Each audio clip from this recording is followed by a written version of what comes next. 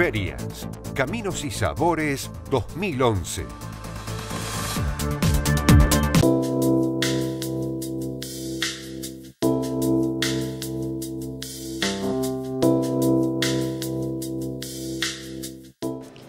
Turismo Visión Argentina se encuentra en Caminos y Sabores. Vamos a hablar con Andrés Arrazola, coordinador de turismo de la Ciudad de Azul.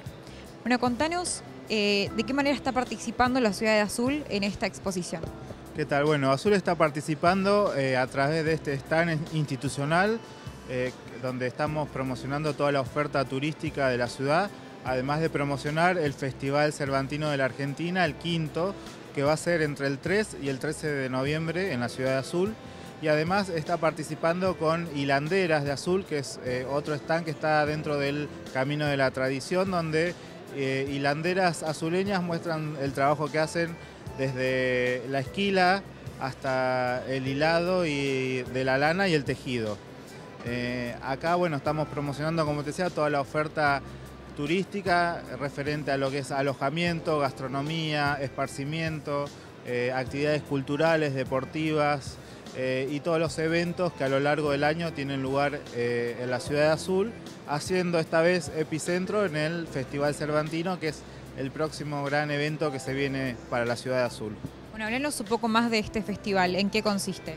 Bueno, van a ser 10 días de festival, como te decía, del 3 al 13 de noviembre, con actividades culturales, eh, con varias disciplinas, teatro, música, exposiciones de pintura, escultura, eh, actividades eh, gastronómicas, un festival gastronómico, actividades deportivas y además va a tener todo lo, referente a lo que es eh, animación sociocultural dentro de lo que es la comunidad.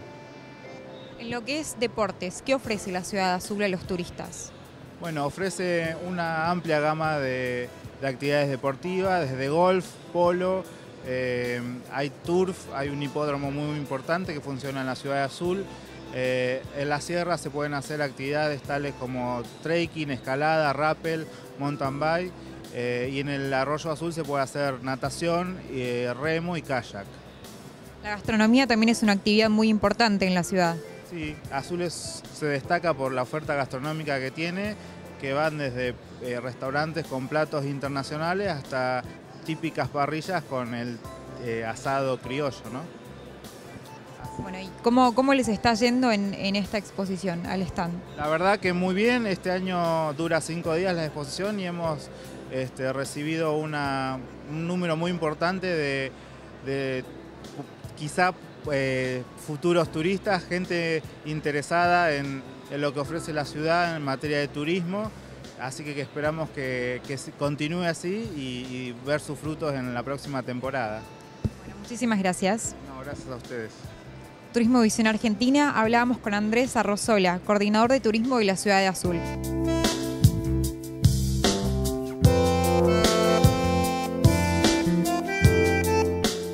Turismo Visión Argentina, estamos con Rodrigo Báez, coordinador del Plan Federal de Turismo para la provincia de Entre Ríos. Bueno, Rodrigo, Contanos qué, qué producto está mostrando esta feria, cómo viene Entre Ríos en, materia turística. La verdad es que nos pone muy contentos estar nuevamente en Caminos y Sabores porque es una de las ferias que más contactos tenemos con el público. Eh, venimos a presentar todas las propuestas de turismo, no solamente para la próxima temporada, sino aquellos productos que son, digamos, que la persona puede disfrutar todo el año.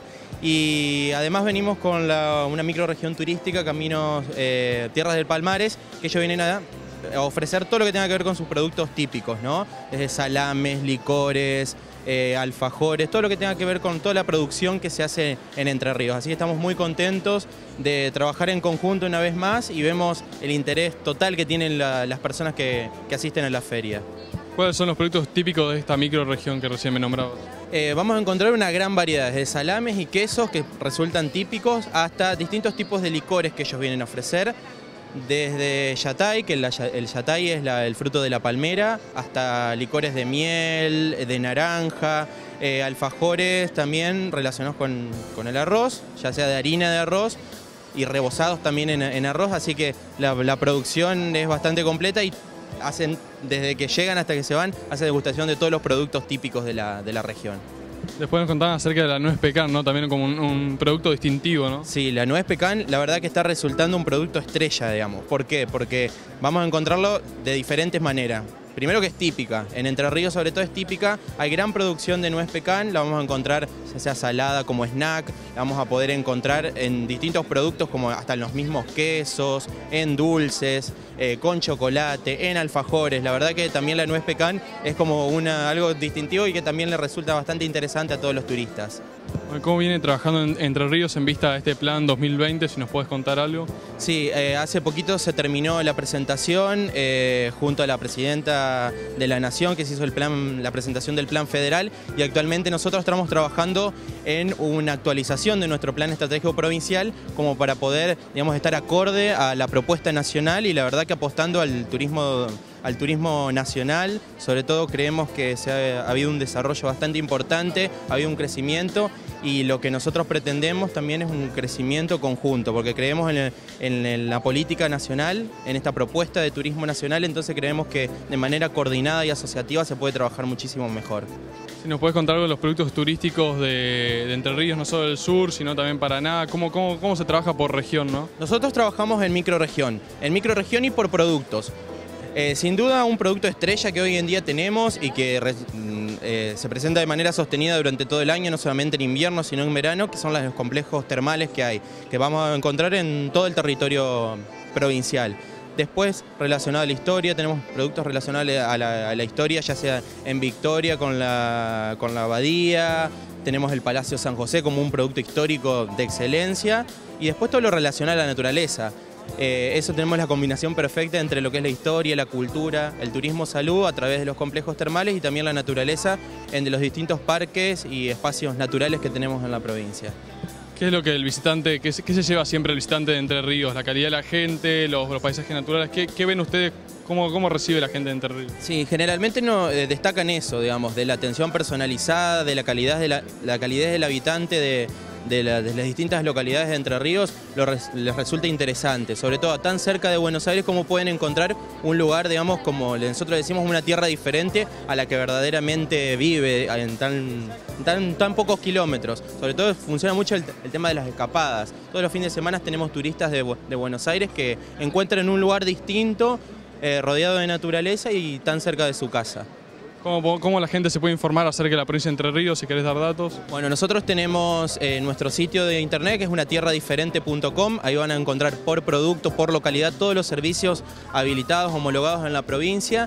Y después tenemos también nuestra oficina en la Casa de Entre Ríos, en, en Suipacha 844. Ahí también pueden llamar por teléfono, así que todo lo, está al alcance de todas las personas que quieran, que quieran visitar Entre Ríos. Muchas gracias. No, de nada, muchas gracias a vos.